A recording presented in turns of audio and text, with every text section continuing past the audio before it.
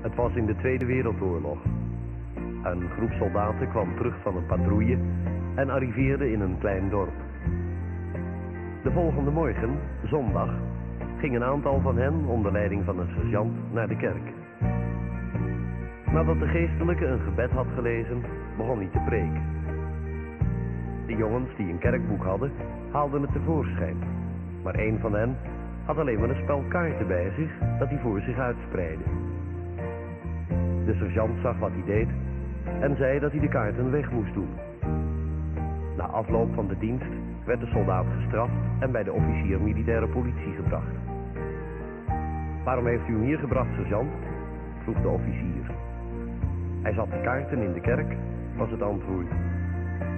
Wat heb je daarop te zeggen, knaap? zei de luitenant. Heel veel, was het antwoord van de bewuste soldaat. Dat zullen we hopen, want als je geen deugdelijke reden hebt, dan zal ik je strenger straffen dan wie ook. De soldaat zei, Luitenant, ik ben zes dagen op patrouille geweest. Ik had geen bijbel of kerkboek, maar ik hoop u te kunnen overtuigen van de oprechtheid van mijn bedoelingen. Nadat hij dit had gezegd, begon hij zijn verhaal. Kijk, luitenant, als ik naar de aas van het spel kijk, dan weet ik dat er maar één God is. En de twee vertelt me dat de Bijbel in twee delen verdeeld is. Het Oude en het Nieuwe Testament. Als ik de drie zie, dan denk ik aan de Vader, de Zoon en de Heilige Geest. De vier herinnert me aan de vier evangelisten die het woord predikten. Matthäus, Marcus, Lucas en Johannes. De vijf doet me denken aan de vijf wijze maagden die hun lamp brandend hielden en gespaard bleven. Vijf van de tien waren dwaas en werden verstoten.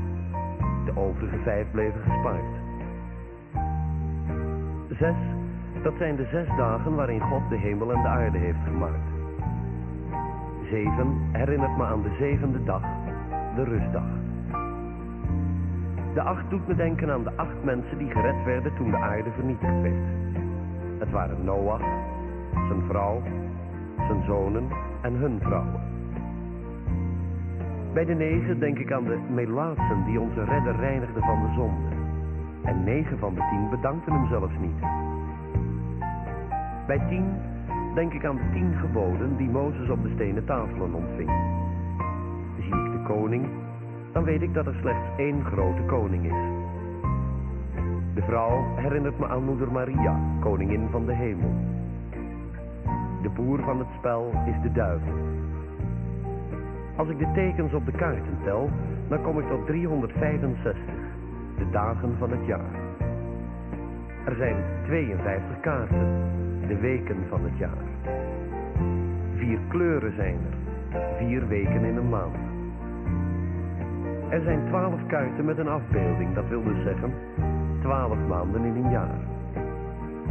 Ook zijn er dertien troepen in een spel, dertien weken in een kwartaal. Ziet u, luitenant, mijn speelkaarten betekenen voor mij een bijbel, een almanak en een kerkboek tegelijk. Beste mensen, dit was een waar verhaal. Ik weet het zeker. Want die soldaat, dat was ik.